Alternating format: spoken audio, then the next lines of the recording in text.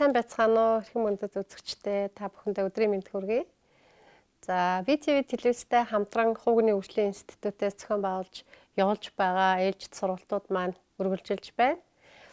За өнөөдөр бид бас эмэгтэйчүүдэд зориулсан хичээлээрээ үргэлжилж явнаа. За өмнөх хичээлдэр бид эмэгтэй хүний үндэс нь эмэгтэй хүний ер нь хүн өөрөө өөрийгөө үнэлэх үнэлэмжийн талаар бид ярьсан байгаа. Тэгэхээр хүн өөрийнхөө нэрэнд дурлах өөрийнхөө насанд дурлах, өөрийнхөө хүүсэнд дурлах ёстой. Тэгж байж бид бас өөрөө өөрийгөө зөв үнэлтэй гэж ярьсан. А тэгээд дээрэс нь бас нэмээд хүн өөрийнхөө нийгмийн байр суурийг бас хүлээн зөвшөөрөх хэрэгтэй байдаг. Хийж байгаа ажлаа яг одоо өөрийнхөө эрхэлж байгаа ажил, статус, байр сууриа бас хүлээн зөвшөөрч а яг түүнийгээ боддоор бас харж үнэлэх хэрэгтэй. Тэгж байж бас өөрийгөө үнэлэх үнэлэмжинд эерэг сайн нөлөөллийг үзүүлж байдаг юм аа. Тэгэхээр өөрийгөө зөв үнэлээд өөрийнхөө үнэлэмжийг нэмэгдүүлж чадсан хүн бас илүү их баяр хөөртэй, өөртөө ихтэй байх боломжтой байдаг. За өнөөдрийн хувьд бүгдээрээ эмэгтэй хүний одоо нэг сэтгэл зүйн зарим нэг онцлогийн талаар ярилцаад а тэгээд бас өөрийнхөө сэтгэл санааг өөдрөг сэргэлэн цовоо баяр хөөртэй байлгах хідэн зөвлөмжүүдийг хүргэе гэж бэлдсэн байгаа. Ер нь эрэгтэй эмэгтэй хүмүүсийн хүүсийн сэтгэл зүй гэж байдаг л да. Тэгэхээр эмэгтэй хүний сэтгэл зүй гэж байгаа эмгтээлэг шинж тэмдэг гэхээр ерөнхийдөө нэг тийм уян зөөлөн мэдрэмтгий тэ инэрлдэг хайрладаг ойлгодог гэсэн ийм э, шинж тэмдгүүд байдаг. А эргтээлэг э, шинж гэхээр өөртөө ихтэй түрэмгий ямар нэгэн зүйлдийн бие даасан байдалтай аз турших дуртай гэсэн ийм шинж тэмдгүүдийг хамааруулж үздэг. А гуравдугаарт нь болохоор андроген буюу аль аль э, сэтгэл зүйн байдлын давхцсан тийм тохиолдлууд байж байгаа. Бид нар бас амьдрал дээр ингээл ярьдаг штэ найз зарим найз хүүхнүүдээ манай энэ их эргтээлэг тийм хурдан түргэн түрмгий бүдүүн дуутаач гэдэг юм уу эсвэл юмд аз турших дуртай гэл ингээ ярьж байдаг те. Тэгээ зарим эрэгтэй хүний ер нь их жоохон эмгтээлэг дүү нарийнхан дуутай уян зөөлөн хөдөлгөөнтэй гэдэг ингээ ярьдаг штэ. Тэгээ энэ маань эрэгтэй хүн ийм байх ёстой, эмэгтэй хүн ийм байх ёстой гэдгээсээ илүүтэйгээр зүгээр л эрэгтэй болон эмэгтэй хүний сэтгэл зүйн тийм онцлог байдлыг илэрхийлсэн шинж тэмдгүүд юм л да. Аа тэгээд хүн ер нь аль альж талаараа байлаа гэсэн муу, сайн гэсэн үг бас биш. Зүгээр л хүн ямар ч байж болно. Хүн болгон өөр. Хүн болгон адилгүй, хүлэг болгон жороогүй гэдэг. Тэгэхээр хүн болон энэ хорвоо дэлхий дээр цорын ганц төрсөн байдаг. Тэгэхээр тэр хүнд ямар ч шинж тэмдэг нь ингээд байглаасаа өгөгдсөн төрмөл юм байж болно л доо. Аа тэгэд энэ нь тийм байлаа гэд нэг муу эсвэл сайн гэсэн юм үнэлгээнүүд биш юм аа. Зүгээр өөр байж болно гэдгийг бид нар ойлгох хэрэгтэй байдаг. Энийг ойлгоогүйгээсээ болоод зарим талаараа бас бид амьдрал дээр зөрчил гаргах аа бие бинийгээ үл ойлгох, үл хүндэтгэх аа бие биенээсээ бас байхгүй зүйлийг нь хүсэх тохиолдлууд гараад идэг л та. Тэгэхээр энэ сэтгэл зүйн энэ эргтээлэг болон эмгтээлэг энэ шинж тэмдгүүд хүмүүст ингээд зүгээр жирийн байдаг үзэгдэл юм а гэдгийг бид бас хүлээн зөвшөөрөх нь бидний амьдралыг бас илүү баяр хөөртэй тийм амар тайван болгох боломжтой болгож байдаг. За тэгээд э, ялангуяа эмэгтэй хүмүүс тулгардаг нэг э, зүйл юу вэ гэхээр ер нь өөрийнхөө амьдралыг баяр хөөртэй байлгах, өөрөө илүү баяр хөөртэй тийм өөдрөг сэтгэл зүйтэй байх хэрэгтэй байдаг. За сэтгэл зүйчд эмэгтэйчүүд илүү ханддаг. За тэгээд хандаад ингээ ирж байгаа эмэгтэйчүүдийг анзаарахаар хамгийн хөнгөн хэлбэрийн тохиолдлууд нь юу байна вэ гэхээр баяр хөөрөө алдсан, амьдралынхаа асуудлуудад одоо нугарсан, хугарсан, айсан, түгшсэн юм байдлууд их анзаарагддаг. Тэгэхээр бид энэ амьдрал тулгараад байгаа хүнд хэцүү байдлыг, хүнд хэцүү асуудлуудыг даван туулахын тулд яах ёстой юм бэ гэдэг талаар сэтгэл санаагаа илүү өөдрөг байлгах тал дээр хідэн зөвлөмжүүдийг өгье. За ерөнхийдөө ингээд сэтгэл зүйч тандаад уцаар яриад ч юм уу аль эсвэл ингээ ирж уулзж байгаа хүмүүсийг ингээ анзаарахаар э, одоо нүднийх нь гал буурсан, цоггүй болсон, баяр хөөргүй болсон, дээрэс нь уйтгар гойныг давтсан. За тэгээд нэг дуу хоолойны өнгөн ингээд айцтай, төгшүүртэй ийм байдалтай болсон байдаг л да. Энэ маань юу илэрхийлээд байна гэхээр нэг талаасаа амьдралдаа тулгарсан стресс, асуудлуудыг одоо даван туулахад хүндрэлтэй болсон байгаа зүйлсийг бид хардаг. Тэгэхээр хүн болгон бас ингээд мэрэгжлийн хүнд хандаал яваад ингээд байхгүй байгаа. Энэ тохиолдолд бас бидний энэ хичээлээр дамжуулаад бидний энэ сургалтаар дамжуулаад бас зарим зүйлийг өөрийнхөө амьдралд хэрэгжүүлэх хөнгөн хэлбэрийн зөвлөмжүүдийг бас би бэлдсэн юм аа. За тэгвэл сэтгэл санаагаа өөдрөг байлгах а өөрийгөө илүү хөгжилтэй баяр хөөртэй байлгахын тулд яах ёстой вэ гэж байна. За хамгийн нэгдүгürt нь та өөрөө өөртөө найрсаг сайхан хандах хэрэгтэй байдаг. Өөртөө. За ялангуяа эмэгтэйчүүд яадаг вэ гэхээр би хүнд яавал сайхан харагдах уу? Би хүнд муухай харагдчих вэ? Би хүнд одоо эвгүй харилцаад эвгүй сэтгэл төрүүлчих вэ гэдэг дээр маш их сэтгэл гаргадаг, маш их анхаарлаа хандуулдаг. А гэтэл яг өөр дээрээ би хийм бэ? Би юу н яатсан хүн бэ гэдэг өөр лүгөө өнгөх талыг хаа орхигдуулаад байдаг байхгүй юу. Тэгэхээр хамгийн ихний зөвлөмж юу вэ нөхөр өөртөө ээлдэг зөөлөн сайхан хандаж сураа гэж байгаа өөртөө. За ингээ фэйсбүүкийг ингээ анзаарч байхад за яг нүүр ном гэдэг утгаараа хүн хүн болгоны өөрийнх нь ертөнцөлтэй. Тэгээд ингээд ихэнх коммент, ихэнх энэ постуудыг харахаар ингээ бухимдсан бухимдуудаа маш их ингээ гаргаж байдаг л да яг энэ талаараа нэг талаараа Facebook чинь бас их сайн тал нь юу байдаг байгаад байна гэхээр хүмүүс бас өөртөө дотроо хуримтлагдсан зүйлсээ гадагшлуулах нэг талбар болоод байдаг. А тэгээ эндээс зүгээр юу анзаарэгддэг вэ гэхээр хүмүүс ялангуяа хүүхнүүдийн хувьд ингээд маш их тийм бухимдсан хэцүү байгаагаа ингээд илэрхийлж яадаг л да. Тэгээ энэ илэрхийлж байгаа илэрхийллүүдийг ингээ анзаарахаар бүр өөрийгөө ингээ бүр орхигдуулаад хайчихсан ялангуяа олон хүүхдтэй байх тусмаа бүр өөрийгөө гаргуунд нь гаргаад тайчихсан хүүхдүүдийнхээ төлөө, гэр бүлийнхээ төлөө, нөхрийнхөө төлөө гэдэг ингээд зүтгэцэн байж байгаа. Тэгээд эцэст нь юу болдгоо гэхээр маш их ядарсан, туйлдсан юм байдалд хүрч байдаг. Тэгэхээр өөрийгөө эхлээд хайрлая, өөрөө өөртөө эерэг сайхан хандхад суралцъя. За энэний бүр хамгийн ихний хамгийн энгийн алхам юу вэ гэхээр өглөө босоод толинд хараад өөртөө талхлын сайхан үгийг хэлэх Бидний хамгийн ихэнд өглөө босон гут хийдэг зүйл маань нойлын өрөөнд ордог. Бид шүдэ угаадаг, бид толинд хардаг. Яг энэ цагийг ашиглах хэрэгтэй байдаг. Энэ бол өглөө болгон хүн болгон давтагддаг юм гайхалтай цаг. Энэ цагийг бид яадгүй гэхээр яарсан сандарсан байдлаар ингээ өнгөрүүлчихдэг л дээ. Тэгэхээр энэ шүдэ угааж байх, нойлын өрөөнд байх энэ хитгэн 3 3-аас 5 минутыг өөртөө ашиглаад аваарай. За энийг бүр тасралтгүй ингээд нэг 21-ээс хоногоос тэ 30 хоног ингээ хийгээд үцгэд таны сэтгэл санаа ямар их өөдрөг болсон байгааг та өөрөө анзаарах болно. Тойлонд хараад өөртөө хэл. Би чамд хайртай гэд. Чи энэ хорвоо дээрх цорын ганц нэгэн. Тэг өөртөө гой сайхан үгсийг хэл. Бид нар нэг Орсын киног мэддэг штеп. Би энэ хорвогийн хамгийн дур булаан сайхан бүсгүй гээл тойлонд өөртөө харж хэлээл ингээл явдаг бүсгүйн тухай кинонуудыг одоо миний үеийнхэн бол сайн мэднэ. Залуучууд мэдхгүй байж магадгүй. Тэгээ ерөөсөө бүр багасаа энийг хөвчих хэрэгтэй. Өөртөө эхлээ сайхан хандаа сурч. Хүн өөртөө сайхан хандаад, өөртөө хайртай байгаад ингээд өөртөө илдэг зөөлөн хандаад ингээд ирэхээр бусдад бас эерэг бусдад бас ингээд зөөлөн хандаж суралцдаг. Яг тэгвэл тэр гой үгсийг өөртөө ингээд хэлж чадаж байгаа хүн бусдад хэлэхэд илүү чин сэтгэлээсээ илүү одоо тийм хариуцлагатай байдлаар хэлж сурдаг л да. Тэгээ энэ маань нэг талаараа бас юу байдаг вэ гэхээр ингээд өөртөө эрэг сайхан хандаа сурцсан хүмүүс бас бусдын эрхийг хүндэлдэг, бусдын хийж байгаа үйлдэлийг хүндэтгдэг, бусдын амьдралдаа үнцэнтэй гэж тооцоолж бодож байгаа тэр зүйлсд нь бас бид илүү хүндэтгэлтэй хандаж сурах юм боломж олддог. За тэгвэл хүүхнүүдээ бүгдээрээ өглөө олгон босоод толинд хараад өөртөө хайртай гэж хэлдэг байцгаая. Тэгээ дээрэс нь бас нэг одоо ээжүүд гэртээ инээмсэглээд орж иж яхад хүүхдүүд дагаад инээдэг. Ерөөсөө би энэ үгийг бүр сургалт болгон дээр хэлдэг. Ээжүүдээ та нар инээмсэглдэг байгаараа. Таныг инээж байхад гэр бүлийнхэн чинь хүүхдүүд чинь инээн. Таныг ярвайсан, ууралсан, айсан, түгшсэн байхад хүүхдүүд чинь инээмсэглэнэ гэж хизээч байхгүй. Тэгэхээр эхлээд өөртөө эерэг зөөлөн найрсаг сайхан хандгад суралцаарай гэж байгаа. За тэгвэл сэтгэл санаагаа өөдрөг байлгах дараагийн нэг алхам юу вэ гэвэл өөрийгөө бусдад харьцуулахаа боль. Бүр яг энэ цаг мөчөөс эхлээд энэ шийдвэрийг гаргах хэрэгтэй. За хүүхнүүд маш их өөрийгөө бусдад харьцуулдаг. Тэр төгс төгөлдөр гайхамшигтай эмгтээчүүдтэй, тэр сэтгүүлийн нүүрэн дээр байгаа тэр төгс төгөлдөр бие галбиртай хүмүүстэй, тэр киноны гол дүр тоглож байгаа царайлаг эмгтээчүүдтэй өөртөө харьцуулдаг байхгүй. Үгүй юм аа. Үгүй юм өөрийгөө хин нэгэнтэй өөрийгөө төгсдөг үлдэр хин нэгэнтэй харьцуулахаа болсон тэр цагт таны амьдралд өөрчлөлт орж ирдэг. Тэгээд нөгөө бусдад харьцуулахдаа мэдээж хэрэг бусдын муу мухатай харьцуулахгүй нь ойлгомжтой. Дандаа бусдын юм төгс төгөлдөр тийм онцгой тийм зүйлсүүдтэй хүн өөрийгөө харьцуулах гэдэг. Тэгэхээр өөрийнхөө дотор байгаа яг өөртөө байгаа тэр давуу талыг өөртөө байгаа нандин чанаруудыг гаргаж ирэх хэрэгтэй.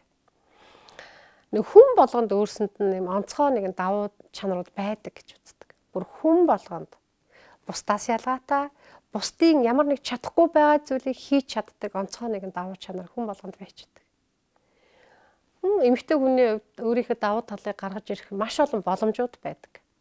Гэр орноо сайхан авч явах, үр хүүхдтэй үлгэр дуурайлтаа байх, сайхан хоол хийх, А за ажил хийгээд карьертай өндөр карьер хөөцөлтөд одоо том албан тушаалтай эмэгтэйчүүдийн хувьд гоё хувцаслалт а бие авч явах байдал бүр тэгж ярих юм бол гоё бичдэг байх гэл зөндөө олон давуу талууд байж болно. Тэгэхээр өөрийнхөө дотор байгаа тэр нандан гайхамшигтай сайхан зан чанарыг өөртөө өгөгдсөн тэр нэг өгөгдөл болж өгөгдсөн тэр зүйлийг гаргаж ирээл тордоол тэрнэн дээрээ бүр дөрөөлж урагшлах хэрэгтэй. Тэр үед та бас ингээд юм л бол хин нэгнтэй өөрийгөө харьцуулаад байх тэр харьцуулалт нь арай багасдаг. Тэгэхээр энэ өөрийгөө бусдад харьцуулахаа болоход туслах тусламж маань юу байна гэхээр та өөрийнхөө дотор байгаа давуу чанаруудыг өөрийнхөө дотор байгаа эерэг сайн чанаруудыг мөнгөлн торд гэсэн үг. Нэг эмэгтэй бас ингээд зүлгээ авахар иржсэн л да. Тэр эмэгтэйгийн хувьд юу байсан гэхээр нөгөө би жингээ асмаар байна гэд.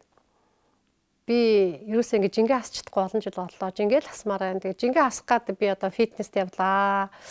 Хоолоо сойлоо тий. Ингээд олон олон аргуудыг хэрэглэсэн ч гэсэн ер нь дөрвтэй жим маань хасагдахгүй байна гэд ингээд зөвлөгөө авч ирсэн л та. Тэгэхээр жин хасна гэдэг маань бас нэг талаараа хөдөлгөөн а хооллолттой нарийн нэгт холбоотой боловч бас сэтгэл зүйн юм бэлтгэл бас хэрэгтэй байдаг. Тэгээд нөгөө эмэгтэй маань юу хийсэн бэ гэхээр ерөөсөө өөрийгөө ингээд нөгөө бусдад харьцуулахаа болийг шийдсэн. Тэгээд тэр бусдад харьцуулахдаа яадаг бүр нөгөө нэг гоё гуайлаг төгс биетэй эмгтээчүүдтэй өөрийгөө харьцуулж маш их сэтгэлээр ундаг байсан байхгүй.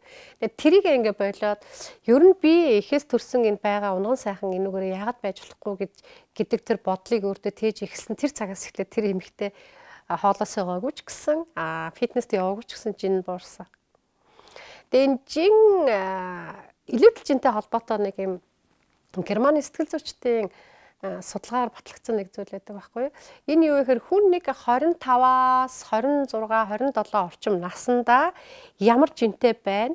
А тэр нь тухайн хүний өөрийнх нь яг өөрт нь тохирсон жин байх нь одоо их магадлал өндөртэй гэсэн юм судалгаа гаргаж ирсэн байдаг. Тэгэхээр магадгүй та нэг 25 6 орчим наснда хөөрхөн болцгор биетэй ингээд байсан л бол тэр таны өөрийн чинь бие махбод сэтгэл санаа тохирсон хамгийн зөв сайн жим байх магадлал өндөр гэж байгаа байхгүй. Тэгэхээр заавал тэрнээсээ их турах гал өөрийгөө зовоогоо шаналгаад байх шаардлага бас байхгүй байна л да. Гэхдээ энэ маань нөгөө нэг илүүдэлжинтэй байх нь зөв гэсэн үг биш. А хүн болгон өөр өөрийн онцлогтой бие махбодтой байдаг учраас бүгдээрээ нарийнхан туранхай гуайлаг бүгдээрээ хитрхи туранхай байх гэж тэмүүлэх нь бас тийм ч зөв зүйл биш юм а гэдгийг хэлэх гээдлийн тайлбарыг би хэлээд байгаамаа. За тэгвэл бусдаа одоо өөрийгөө харьцуулахаа болсон тэр цагаас эхлээд хүний амьдралд өөрчлөлт орж ирдэг шүү. Баяр хөөртөө сэтгэл өдрөг байх бас нэгэн гайхалтай зүйл энд байдаг. За тэгвэл сэтгэл санаагаа өөдрөг байлгах дараагийн нэг арга юу вэ гэхээр өөрийнхөө давуу тал дээр бүх зүйлийг үндэслээ. Өөрөөрөө бахархах дотоод сэтгэлийн хүчийг бий болгоо гэдэг чинь. За энэ бас энэ нөгөө нэг өөрийгөө бусдад харьцуулах гэдэг дээр би бас сайн нэлээд дэлгэрэнгүй ярьсан тий. Тэгэхээр өөрийнхөө давуу тал дээр бүх зүйлийг үндэслэж байгаа. А нэг ийм судалгаа бас байдаг. Юу гэхээр хүн өөрийнхөө сул талыг засаж залруулах, сул талаа хөгжүүлж, сул талаа одоо сайжруулах гэх юм бол маш их цаг зарцуулдаг. А гэтэл сул талаа нэг хэсэгтээ жоохон ингээд байснууч байгаад өөрийнхөө давуу талыг хөгжүүлээд өөрийнхөө байгаа бүх давуу тал дээр үндэслээд өөрийгөө өөрчлөөд явхад хугацаа бага зарцуулдаг. А тэгээ давуу тал дээр дөрөөлөөд урагшлаад явж байхад нэг мэтгэд маш олон сул талууд засарсан байж байгаа. Сайхан бас натаа нэг хүн ирж уулзч иржсэн. Тэгээд тэр хүн юу гэж хэлсэн хэрэг за яг он гараад би 12 сарын 31-ний орой өөртөө маш их дүгнэлт хийсэн. Маш их бодсон, тунгаасан. Өнгөрсөн он жилүүдэд юу болоод өнгөрвөө гэдэг дээр их бодож тунгаалаа. Тэгээд би өөрийнхөө 25 сул талыг жагсааж бичлээ гэдэг ингээ орж ич. Тэгээд би одоо 2018 онд энэ 25 сул талаа засахаар одоо өөртөө зорилго тавилаа гэдэг. орж ижсэн. Тэгээ энэ бол маш гайхалтай сайхан зүйл. Гэхдээ магадгүй тэр хүн өөрийнхөө 25 давуу талыг 25 өөртөө байсан илүү үнцэнтэй, хүчтэй, эерэг зүйлсээ бичээд ороод ирсэн бол тэр хүнд нөгөө нэг юм өсөж хөгжиж өөрчлөгдөхөд нь илүү амар хялбар бас хугацаа багцарцуулах тийм боломж байж байгаа л да. Тэгээ дээрэс нь би ер нь 21 аймаг 100 гаруй сумдаар ингээ явж байлаа. Олон олон байгууллагуудаар сургалт хийж байсан. Тэгээ нэг зүйлийг их анзаарч ажигласан. Юу гэхээр хүн болгоо ингээ давуу талтай бас сул талтай. Тэгээд за та давуу талаа эхлээд ярмаар байна уу, сул талаа эхлээд ярмаар байна уу гэж асуухаар хүмүүс дандаа эхлээд би сул талаа ярих гэж Тэгээ эндээс би юу гэж анзаарсан хэрэг ер нь хүм бид их юм сэтгэл зүйн хувьд маш их сул дараа байгааг нэг талаас харуулж байна л да. Нөгөө талаас өөрийгөө үнэлэх үнэлэмж муу байна. Эхлээ би сул талаа ярьчих дөхөө багшаа. Үгүй юм аа. Хэрвээ танд өөрийгөө хааны газар илэрхийлэх ярих боломж тиймэрхүү одоо зүйл тохиолдох юм бол эхлээд дандаа давуу талаа ярьж байгаарай. Хүн өөрийнхөө давуу талыг эхлээд ярьж байхад харилцагч хүн маань өөрийн чинь талаар илүү эерэг ойлголтуудыг төрүүлж авдаг үнэлэмж нь өөрчлөгдөж байдаг. А дараа нь өөрийнхөө сул талыг ярих үед таны сул тал аль хэдийн хүчин суларсан байдаг. А гэтэл танилцж байгаа хүндээ эхлээд за эхлээд сайхан өөрийнхөө сул талыг ярьчий гэж бүх сул талуудаа ярьчвал таныг үнэлэх үнэлэмж буурчдаг. Ийм учраас өөрийгөө илэрхийлэх хин нэгэн хүнтэй танилцаж ярилцаж байхдаа эхлээд дандаа өөрийнхөө давуу талыг чаддаг сайн зүйлсээ хэлж ярьдаг байх юм бол таны өөрийгөө үнэлэх үнэлэмж болоод бусад хүмүүс таныг үнэлэх үнэлэмжэд эргээр нөлөөлөх боломжтой байдаг. За би өчигдөр бас нөгөө а түрүү амралтын өдрүүдэд нөгөө Voice of Mongolia нэвтрүүлэг үзээ сууж байсан. Тэгээд энэ нэвтрүүлгийг үзээд нөгөө айл нөгөө охин дээр очиод таалгын зогшоод надад нэг сайн мэдээ байна, бас нэг муу мэдээ байна. Айлын төрүүлж хэлэх вэ гэсэн чи би яг яах нү гэдэг ингээ айгүй анзаарсан чи тэр охин шууд эхлээ муу мэдээг ичэн сонсъё гэж тэгжсэн. Тэгээ би бас их бодтгол да хүн яагаад заавал дандаа сул тал муу юмд ингэж төрүүлж бид ингэж бүх юма зориулах хэрэгтэй гэж бодогддог. Тэгэхээр хүн сэтгэл санаагаа өөдрөг байлгах, илүү баяр хөөртэй амьдрахын тулд өөрийнхөө давуу тал дээр, өөрийнхөө чаддаг юм дээрээ өөрийнхөө илүү бахархдаг тэр дотроо байгаа үн цэнтэй өнгөлөг зүйлс дээр дөрүүлж байх ёстой гэж хэлмээр байна. За сэтгэл санаагаа өөдрөг байлгая гэж ярьж байгаа шүү дээ. Тэгэхээр энэний дараагийн зүйл илүү сайн мэдлэгтэй болж үргэлж шин зүйл сурахад өөрийгөө одоо тэмүүлж байгаарай танин мэдхүү гэдэг юм а хүний шинээр сурч мэдэж авсан зүйлс хүнийг дандаа юм айдаснаас чөлөөлж байдаг. Хүнд хэрвээ хүнд ямар нэг айдас байх юм бол тэр айдас маань юу байдаг вэ гэхээр нэгдүгürt нь хүн ингээд нөгөө өөрөөсөө илүү ахиу мэдлэгтэй мундаг чадaltaа гэж бодсон хүмүүсээсээ ч юм уу эсвэл тийм чадахгүй зүйлсээс айж байдаг. А дараагийн нэг айдаг зүйл нь юу гэдэг вэ? Мэдхгүй зүйлээсээ хүн айдаг. Мэдхгүй учраас айдаг одоо жишээлбэл зүгээр энгийн жишээ би ямар нэг төмөрөнд хүрэх гээд тэр төмөр халуун юм уу хүүтэн юм гэдэг би мэдэхгүй учраас хүрхээсээ айна.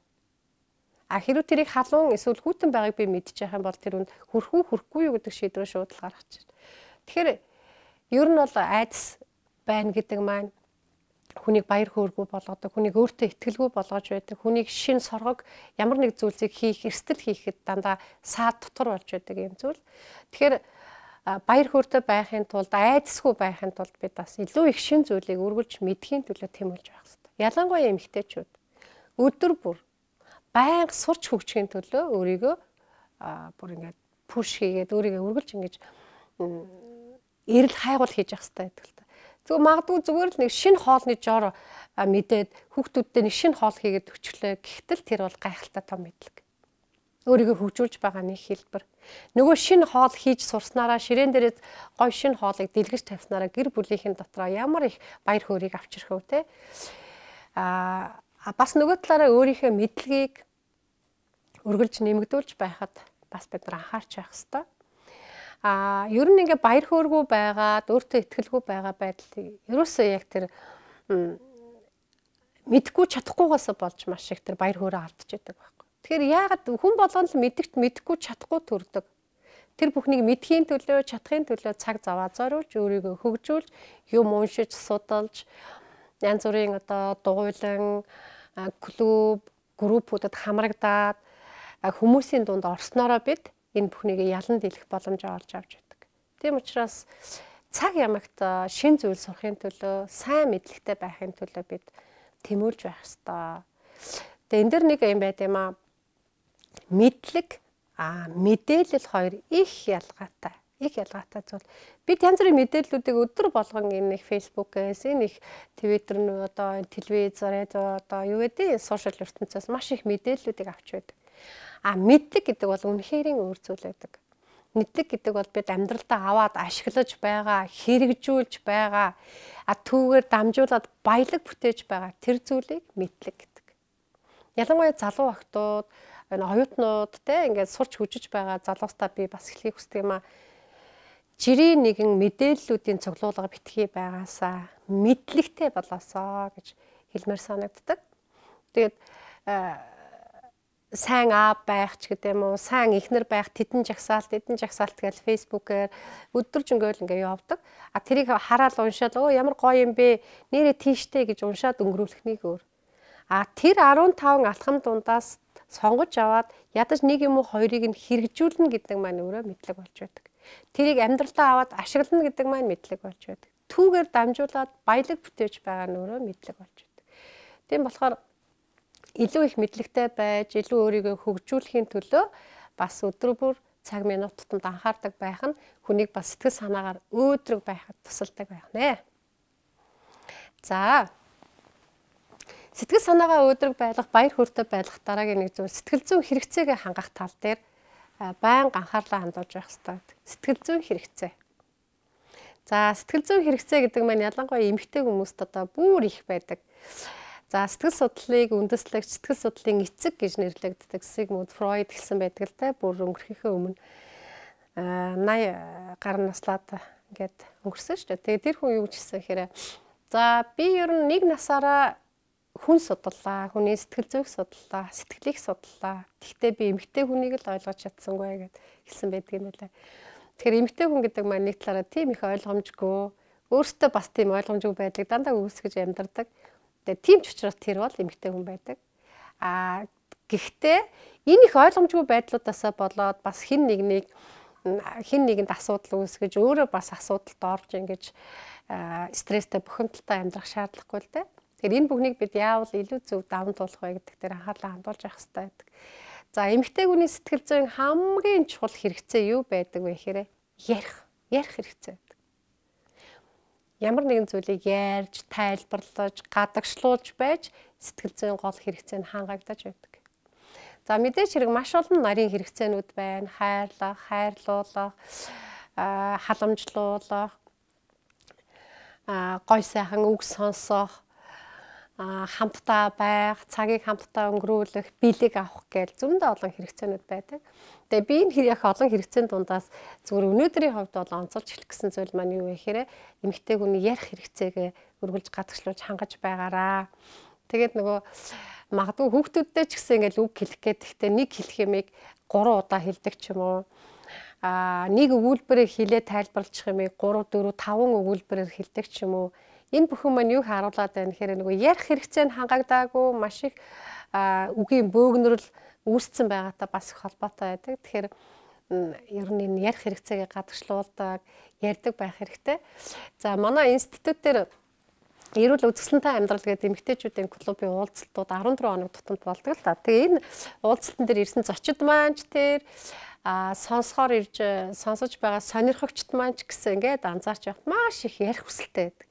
Ингээл юм яриад, яриад, яриад маш их ярих хүсэлтэй ингээ байж байгаа л да. Тэгээ би бас тэр эмгтээчүүдийнхаа ярих сэтгэл зүйн энэ хэрэгцээг хангах үүднээс бас энэ клубын үйл ажиллагаа 14 хоног тутамд ингээ тасралтгүй явуулдаг.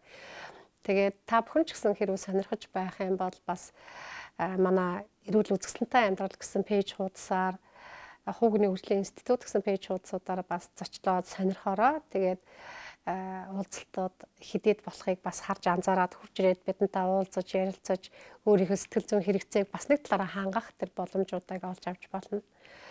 За хэрвээ ялангуяа эмэгтэй хүн сэтгэл зүйн хэрэгцээ нь хангагдаагүй байгаа тохиолдолд маш их ууртай, бухимдалтай, стресстэй болчдөг. Тэгээд нэг найз хүүхнүүдийнхаа дунд ороод нэг сайхан ярьж хөрөөд худлаач хамаагүй инээж яагаад ингээ хүрээд ирэхээр их чөлөөлөгдсөн их тийм тайван болцсон байж байгаа л да. Энэ маань нөгөө эмэгтэйгийн сэтгэл зүйн хэрэгцээнд хангагдж байгааг илэрхийлээд. За бас нэг буруу хангах бас хандлага байдаг. Энэ маань юу вэ гэхээр одоо нөхөртөө ч юм уу найз залуудаа гомдсон гомдол аль эсвэл хадмуудаа ээж аавдаа найз нөхдөд гомдсон а гомдох гэхээсээ илүүтэй бас харилцааны зөрчил үүсэхтэй ийм тохиолдлуудад яадаг вэ гэхээр нөгөө хоримтлагдсан их үгсээ найзуудтай ээж аавудтай хэлээд нөгөөдөлөө бүр илүү юм хүнд байдалд оруулж тохиолдлууд их байдаг л да. Тэгэхээр ялангуяа нөхрийнхээ талаар ингээд гомдсон янз бүрийн болсон зүйлсээ найз хүүхэндээ яриад яг хоёр адилхан асуудалтай хоёр хүн бие биендээ асуудлаа яриад бие биенийгаа дэвэргээл зовоо шаналгаж байхын оронд тийм клубүүд дээр очоод мэрэгжлийн хүмүүсийн чиг хандлагатай зөв чиглүүлэгтэй газар очоод яриад тэрийг гадагшлуулж явах юм бол амьдралаа илүү бас хөнгөн аваад туулах зөрчил зөрчил баг үүсэх юм боломжууд олдож байдаг. Ийм тал байдаг. За сэтгэл санаагаа өөдрөг байлгах хамгийн сүүлчийн миний өгөх зөвлөмж юу вэ нөхөрэ? Зоригтой бай. Зоригтой бай. Эр зоргийг аз таадаг гэж үг байдаг. Би энэ хүнд их дуртай. Тэгэхээр зоригтой байх хэрэгтэй. Яагаад бид ингээд хийхийг хүсснээ, хэлхийг хүссэн зүйлээ хэлж ярихаас айх гэж тэ. Тэгээд энэ дэр нэг зүйл байдаг маа. Ялангуяа гэр бүлийн хүчирхийлэл гэдэг нэг асуудал байдаг. Гэр бүлийн хүчирхийлэл байгаа газар юу байдаг вэ гэхээр хэрвээ хүчирхийлүүлж байгаа. Ер нь гэр бүлийн хүчирхийлэл ихэнх тохиолдолд эмэгтэйчүүд өртдөг л доо. Эмэгтэйчүүд арай ингээд бие махбодын хувьд сэтгэл зүйн сул дорой байдгаараа эрчүүдэд хүчирхийлүүлэх нь их байдаг. 90% таа. Тэгээд яг иймэрхүү тохиолдлууд бид жишээл жишээлбэл гэр бүлийн хүчирхийллээс ангижрыг гарыг гэх юм бол зорих хэрэгтэй байдаг. Хүчирхийлүүлж байгаа хүн хэр их зоригтой тэмцэл тэмцэж чадна тэр хэмжээгээр нөгөө хүчирхийлэгч этгээдийг айлгадаг. Айгаад байх тусам нөгөө тал бүр хүчээ авч яадаг. Нэг юм юм анзаарагддаг л да. Тэгэхээр ер нь бол хаана чиний хамгийн их эр зориг гарсан тэр тэр газар яг амжилт бий болж идэг. Зоригтой байх хэрэгтэй хийхийг хүссэн зүйлээ алдсан ч хамаагүй. Яг хэвдэ алдлаа гэхэд бид тэндээс сургамж аваад үлдэнэ. Амьдралд гаргаж байгаа алдаа гэдэг бол амьдралын эцсийн зогсол хизээч биш байдаг. А харин бид нар алдаан дээр зөв суралцаад алдаагаа ахиад давтахгүй байж урагшилж чадах юм бол энэ хамгийн гайхамшигтай амьдралын том сургууль болж байдаг. Тийм болохоор ер нь би хүүхнүүдэйгээ зоригтой байгаараа гэж хэлэх дуртай. Зоригтой байх хэрэгтэй эр зургийг аз тавдаг гэдэг үгийг дахин дахин санаж явах хэрэгтэй байдаг. Аа ер нь ээж ээж байлаа гэд эхнэр байлаа гэд гэрээ ажил хийлээ гэд а эсвэл ингээд байгууллага толгоолоод удирдаад явж байлаа айлч тохиолдолд эмэгтэй хүнд бас зориг хэрэгтэй байдаг. Тэгээ хэр их зориг гаргаж чадсанаас бидний амжилт бас хэмжигдэж байдаг. Ийм зүйл байд юм аа. За тэгээ сэтгэл санаагаа өөдрөг байлгах, амьдралаа баяр хөөртэй байлгах, а түүнийгээ дагаад нөгөө ихнэр ээж өөрөө баяр хөөртэй сэтгэл санаа өөдрөг байхад ер нь гэр бүл тэр чигээрээ л өөдрөг баяр хөөртэй байж чаддаг. Тийм учраас бас энэ бүхнийг энэ энд хэрэгцээтэй бас хэд хідэн юм зөвлөмжүүдийг би энэ цэнгэр дэлгэцээр дамжуулаад гэртээ сууж байгаа болон биднийг үзэж байгаа эмэгтэйчүүдтэй энэ захиасыг энэ одоо зөвлөгөө хүргэж байгаадаа би үнэхээр их баяртай байна. Тэгээд өөрийгөө хөгжүүлэхэд шин зүйлийг мэдхийн төлөө өргөлж тэмүүлж байгаараа, зоригтой байгаараа гэж дахин бас хэлхийг хүсэж байна. За тэгээд өнөөдрийн бидний бэлтгэсэн энэ сургалт маань өөр ингээд өндөрлөж байна. Та бүхэнд илүү асуух асуулт, илүү бас сонсохыг хүссэн сэдв байх юм бол бидэнтэй бас холбогдож санал хүсэлтэд эргэлж болно. Тэгээд дараагийн сургалт хүртэл баяртай. Эргээд бүгдээрээ уулзцгаая.